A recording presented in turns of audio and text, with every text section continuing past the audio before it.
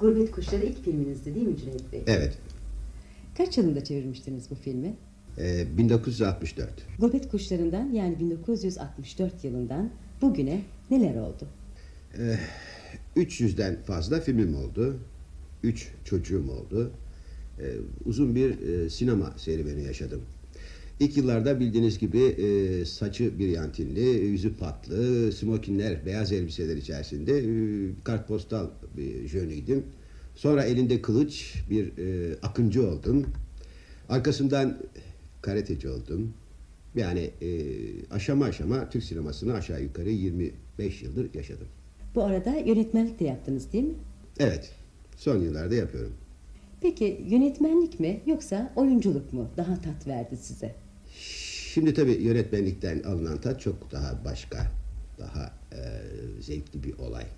Çünkü e, bir şey yaratıyorsunuz, bir şeyi yeniden var ediyorsunuz. İnsanlar yaratıyorsunuz, durumlar yaratıyorsunuz, duygular getiriyorsunuz, insanları etkiliyorsunuz. Cüneyt Bey içinizde ukde kalan bir şey var mı? Bugüne kadar yapmak istediğiniz ama bir türlü yapamadığınız bir şey var mı?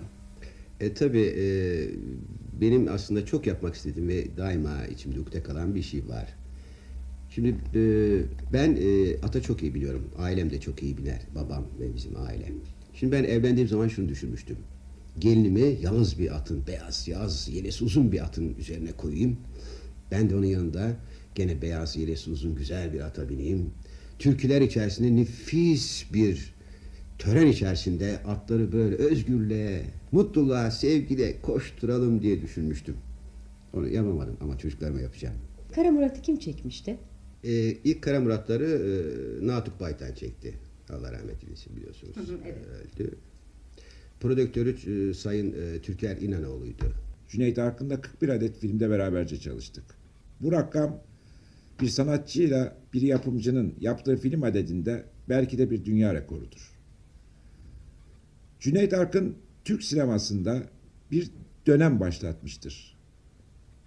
Başlangıcından bugüne kadar 30 yıldır zirvenin daima tepesinde kalmayı başarmış bir sanatçıdır. Yaptığı Malkoçoğlu, Kara Murat gibi filmlerle çocukların sevgilisi haline gelmiş, romantik filmler, avantür filmlerle de tüm sinema severlerin gönlünde taht kurmuştur. Kara Murat'ın senaryosu Sayın Rahmi Turan'a ait.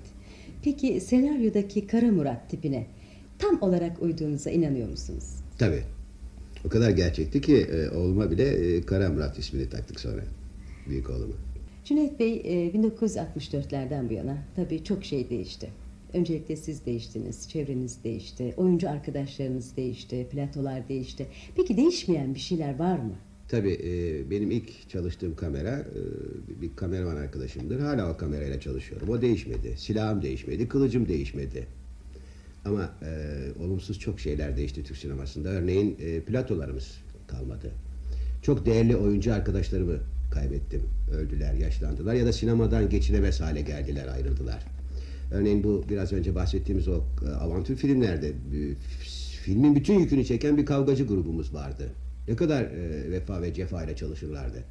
Onlar geçinemez hale geldiler sinemadan, ayrıldılar sinemadan. Şimdi ya piyango bileti satıyorlar veya çakmak dolduruyorlar. Onları kaybettik. Film yıldızı olmak, şöhretli bir kişi olmak hayatınızı nasıl etkiliyor? Şimdi film yıldızı olduğunuz zaman e, herhangi bir vatandaş gibi sokakta e, sandviçini yiyerek dolaşamıyorsunuz. Bir pazar yerinden istediğiniz gibi alışveriş yapamıyorsunuz. Bir otobüse binemiyorsunuz örneğin. Yani e, şöhretin getirdiği ve sizden aldığı çok e, büyük şeyler var. Özel yaşamınız örneğin. Bunu alıyor sizden.